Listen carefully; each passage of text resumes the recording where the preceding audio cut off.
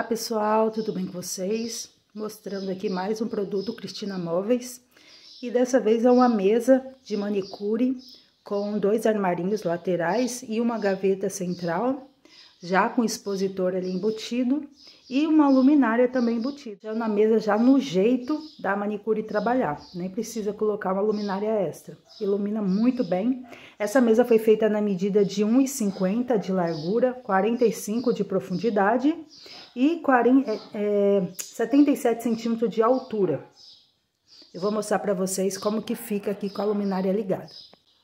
Olha, pessoal, eu liguei a luminária aqui, olha como ilumina bem. Ajuda bastante aqui as manicures fazer unha, né?